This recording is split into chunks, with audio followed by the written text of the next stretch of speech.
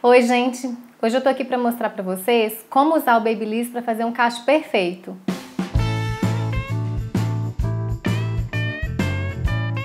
Eu sempre posto, né, os looks do dia, algumas coisas no Instagram, no blog, e as pessoas sempre pedem dicas e ajuda para conseguir aquele cacheado perfeito. Então é isso que eu vim fazer aqui hoje. Eu já contei no Anitta um pouco do meu histórico capilar, né, as lutas que a gente passa ao longo da vida para acertar com o cabelo, mas resumidamente, meu cabelo é anelado, fino, é, então ele ganha muito volume, dependendo do tempo, né, do clima. Então, recentemente eu passei a usar muita escova. Sempre me perguntam se eu não tenho medo do Babyliss estragar meu cabelo, de ressecar, isso e aquilo. E a minha resposta é: não ou não muito. Na verdade, é, eu não me preocupo muito porque como o Babyliss ele, ele fica mais ali na região das pontas do cabelo, naturalmente com o tempo a gente vai cortar. Então assim, eu realmente não tenho esse apego. Se fosse alguma coisa mais próxima da raiz, eu realmente ia ter mais medo. Mas cuidar é sempre importante. Então existem alguns produtos que eu uso que me ajudam nessa tarefa e eu vou mostrar aqui pra vocês o que eu tô usando no momento. Um que eu gosto muito é essa hidratação térmica da Kerastase, e o outro, que todo mundo conhece, né, o famosinho Miracle, é esse aqui que eu tô usando no momento. Os dois me ajudam bem a recuperar a saúde dos fios. Esse olhinho nutritivo, eu passo um pouquinho nas pontas antes de fazer o Babyliss. Acho que aqui dá pra ver direitinho. E o outro é esse protetor térmico da Sebastian, que eu uso muito para fazer é, antes do Babyliss, especialmente no Babyliss antigo. Eu uso pouco para fazer o Miracle. O Miracle eu prefiro usar o olhinho mesmo. E para ajudar na fixação, eu uso esses dois sprays. Um é mais potente, que é esse aqui, da Bad Head, e o outro eu uso mais pro dia a dia quando eu quero um efeito mais natural, da Vela. Antes de começar, algumas dicas são importantes. Por exemplo, jamais fazer o Babyliss com fio molhado. Isso é um perigo e realmente pode danificar muito seu cabelo. Outra coisa importante é sempre separar mechas bem fininhas. Pelo menos para esse aparelho, para o Mira Curl, é indispensável que as mechas sejam finas para conseguir um cacheado realmente bonito. Logo que acabar o procedimento todo, né, o cabelo todo cacheado, eu acho legal manter, segurar um pouquinho os cachos bem arredondadinhos e só um tempo depois soltar, porque aí eu acho que a durabilidade do penteado fica bem maior. E finalmente, eu vou mostrar isso para vocês na medida que eu for fazendo, a bolinha, né, a parte de metal, ela tem que sempre estar tá virada para a cabeça. Então assim, jamais inverta isso, porque isso pode causar estragos. Então vamos começar? Bom, antes de iniciar o processo, eu vou mostrar para vocês como eu uso o aparelho, o Miracurl. Nesse primeiro ponto aqui, a gente controla a temperatura. Então a temperatura é a primeira é 190, 210, 230. Como vocês podem ver, eu uso na temperatura mais baixa. Esse segundo botão aqui, ele controla o tempo. Então, a gente tem 8 segundos, 10 segundos e 12 segundos. Aqui vocês podem perceber também que eu uso tempo menor. Eu acho que conjugando esses dois dessa forma, eu estrago menos o cabelo, pelo menos é a sensação que eu tenho. E aqui a gente controla a direção dos cachos, ou para a direita, ou para a esquerda, ou aleatório. Eu uso aleatório porque eu acho que fica mais natural e assim funciona melhor, pelo menos para o meu formato de rosto, enfim, para o meu tipo de cabelo. Ah, parece que o original tem esse botãozinho aqui, prata, e o meu é preto. Eu ganhei esse Miracle há um ano, mais ou menos, atrás, e só fui saber disso há mais ou menos um mês. Mas para mim, sinceramente, fez pouca diferença porque ele funciona perfeitamente, nunca tive nenhum problema.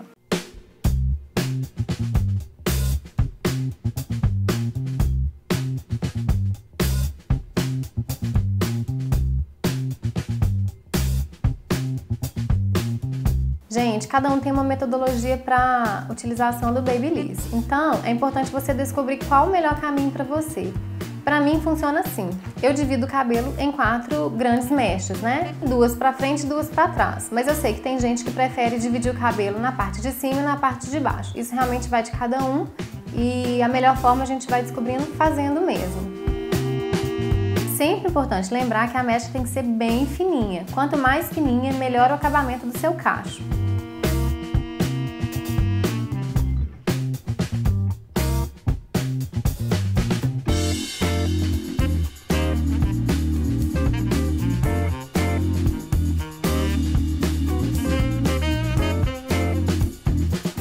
Você tiver com muita pressa, o que não é incomum né, nos dias corridos que a gente leva aí, é, uma dica que eu dou é, você pode até tentar pegar uma mechinha mais grossa por baixo do cabelo, mas a parte de cima sempre bem fininha, sempre, independente do tempo que você tenha. Bom, gente, então é assim que fica o cabelo logo depois que a gente finaliza o processo. Vocês podem perceber que ele tá bem anelado, né? Nem todo mundo gosta desse cacho muito fechadinho. E eu até gosto em algumas situações, mas assim, é legal ter a opção de variar. Então eu espero um tempinho até esfriar mesmo, que o cabelo ainda tá um pouquinho quente, né? Os fios ainda estão um pouquinho quentes e vou soltando os cachos.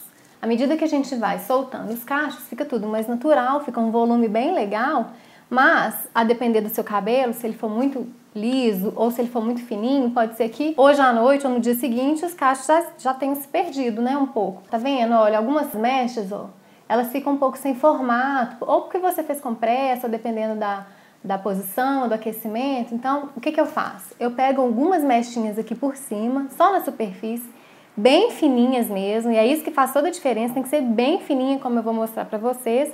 E aí vai dar um resultado super legal, um cabelo bem volumoso, que vai durar assim, muito, muito mesmo, até a próxima lavagem, eu garanto. Não precisa nem esperar apitar, é só mesmo para dar um, um arremate, né, um efeito. Isso foi uma coisa que eu fui fazendo e aprendendo ao longo do tempo, né, de, de aprendizado do processo, e assim, pra mim fez toda a diferença, sabe? Vou fazer um pouquinho aqui e mostrar daqui a pouco o efeito para vocês.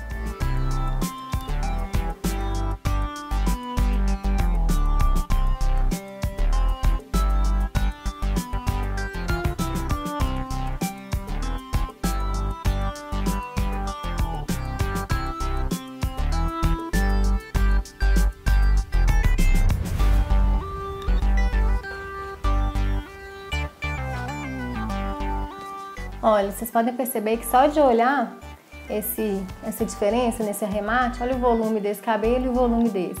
É claro que tem gosto para tudo, pode ter gente que prefere isso aqui, mas nesse caso, o truque é que isso aqui ajuda a durar muito mais a, o tempo né, do cacho no seu cabelo. Isso aí é muito bom, especialmente pra gente que tem uma vida muito corrida e não quer ficar fazendo babyliss todos os dias.